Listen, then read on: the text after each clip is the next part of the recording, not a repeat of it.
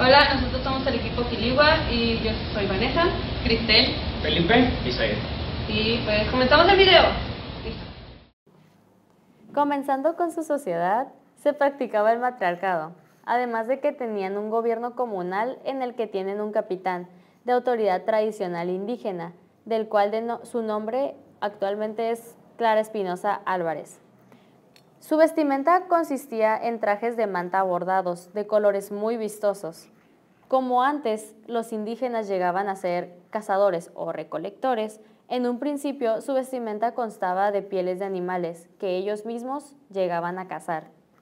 Aunque con el paso de los años y hasta la actualidad, la vestimenta tradicional ha sido sustituida por ropa que comúnmente se usa en las zonas urbanas de la frontera con Estados Unidos, ya que a los jóvenes se les ha hecho una manera más fácil de vestir, ya que ellos migran con frecuencia.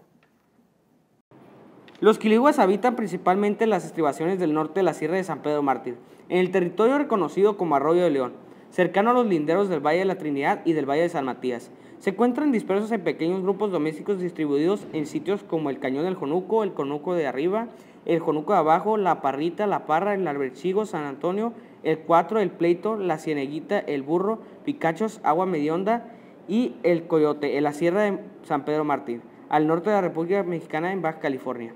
En el arroyo de León no había más de 15 personas habitando los humildes caseríos extremadamente dispersos. Estas son viviendas que tienen la tradicional forma de enramada con techo de tule a dos aguas. Empezaron a gozar hasta hace poco de electricidad y agua distribuida del aguaje conocido como el 4.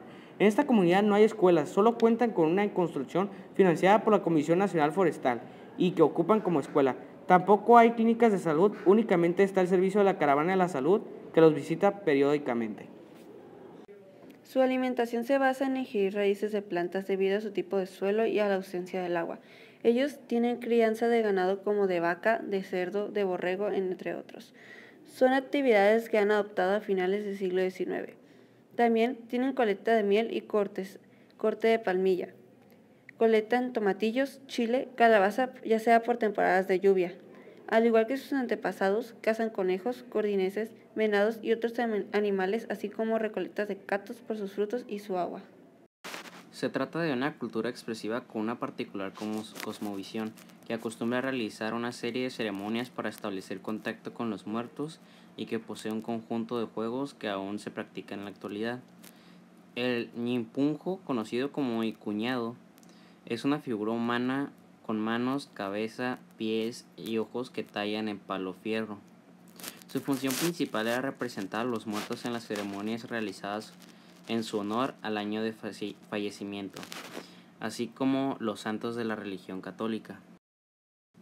Gracias a este trabajo nos pudimos dar cuenta de cómo a lo largo de los años han seguido existiendo los grupos indígenas y cómo desde la conquista es que siguen presentes, lo cual eso lleva alrededor de 400 años. Sin embargo, con el tiempo muchos han decidido emigrar, muchos de estos a Estados Unidos, con tal de poder trabajar o tener una mejor vida.